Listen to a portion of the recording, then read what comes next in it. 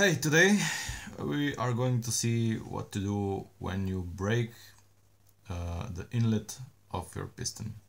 This piston has its career behind it, uh, but we are going to crack this, this uh, inlet open uh, to repair it.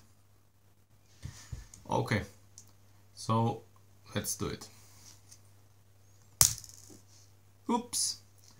Okay, so our piston is broken. So what to do now? First, we need to flatten the inlet, like so. Very quick uh, fix. And now, what we're going to do is, we're going to use the drill to make a hole in it. It's a 3 millimeter drill and it will fit perfectly with our 3 millimeter uh, flex tubing which is also available from Lego.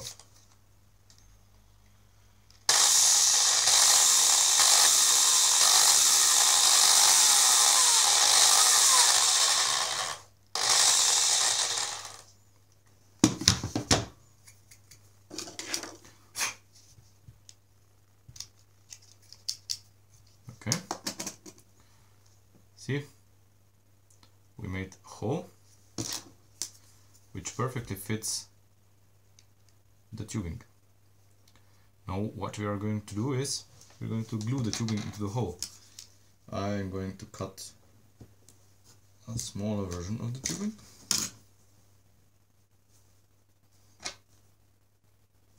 It'll look something like this. Now we take the super glue again.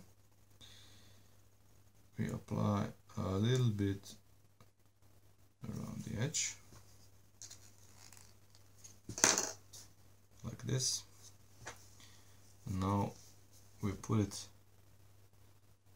inside and I, I like to turn it a little bit just so that the glue settles in around the whole tube. And this is it.